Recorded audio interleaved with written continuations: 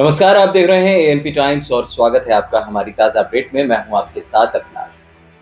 केंद्र सरकार द्वारा सिटीजनशिप अमेंडमेंट एक्ट यानी कि नागरिकता संशोधन कानून लागू करने के बाद विपक्षी दल अपने अपने तरीके से यहाँ पर विरोध कर रहे हैं इस कानून का ऐसे में दिल्ली के मुख्यमंत्री और आम आदमी पार्टी के सुप्रीमो अरविंद केजरीवाल ने भी इस मुद्दे पर बड़ी बात रखी।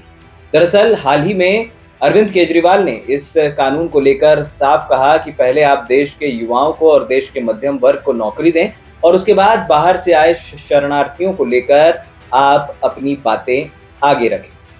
आपको बता दें कि इसी मुद्दे को लेकर हाल ही में दिल्ली मुख्यमंत्री अरविंद केजरीवाल के घर के बाहर बाहर से आए शरणार्थियों ने पूरे तरीके से विरोध प्रदर्शन किया।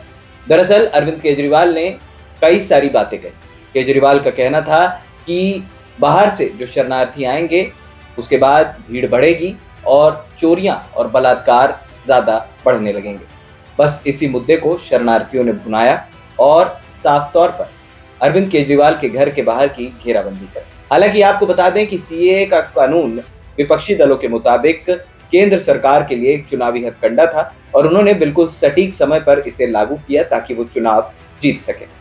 बता दें आपको कि गृह मंत्री अमित शाह और उनकी टीम आज शरणार्थियों के आवेदन के लिए एक ऑनलाइन पोर्टल जल्द ही नंबर के साथ जारी करेगी, जिसके बाद जो भी शरणार्थी जो पाकिस्तान, बांग्लादेश या फिर अफ़गानिस्तान से आए हैं, जो गैर मुस्लिम हैं, उनको लेकर वो आवेदन कर सकते हैं, जो 31 दिसंबर 2014 से पहले से रह रहे हैं।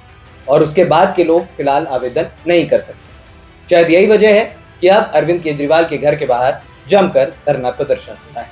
अब ये देखना होगा कि आने वाले समय में किस तरीके से इस मुद्दे को लेकर कई तरीके की बातें निकलकर सामने आएँगी। फ़िलहाल इस खास अपडेट में इतना ही। हमें दे दीजिए इजाज़त और हाँ हमारे चैनल ए टाइम्स को सब्सक्राइब करना बिल्कुल मत भूलिएगा। नमस्कार।